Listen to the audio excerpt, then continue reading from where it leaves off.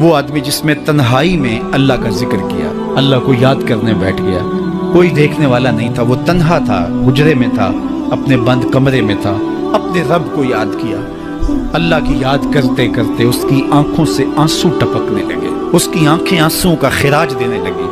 तो मेरे और आपके आका मौला ने फरमाया कि ये आँसू इतने कीमती हैं, इन आंसुओं के बदले में कयामत के दिन उसे अरश इलाही का साया नसीब होगा।